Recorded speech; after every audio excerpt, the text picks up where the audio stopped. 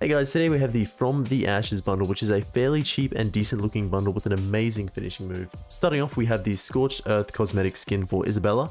If you don't have Isabella unlocked yet, this could be a pretty good time to grab it. We also have the legendary Scorcher blueprint for the Welgun, which comes with mostly meta attachments for Warzone, the Ignite sniper rifle, and the bad foreboding weapon charm. Now onto the weapons, it doesn't actually say on the bundle description, but both of these weapons come with fire traces, so yay.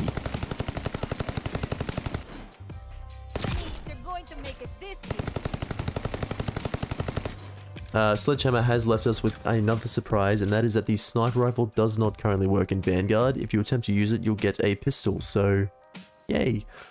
Uh, Warzone does not have this issue, however. Anyway, all that's left is the best part of the video in my opinion, which is the finishing move, so enjoy.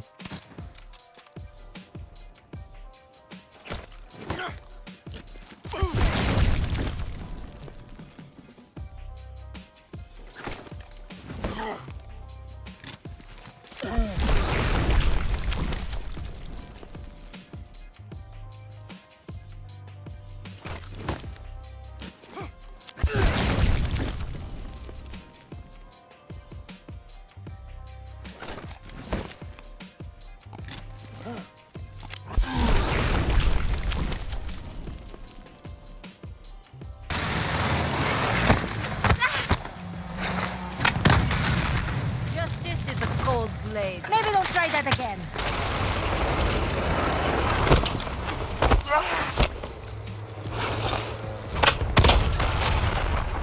Justice is a cold blade. Maybe don't try that again.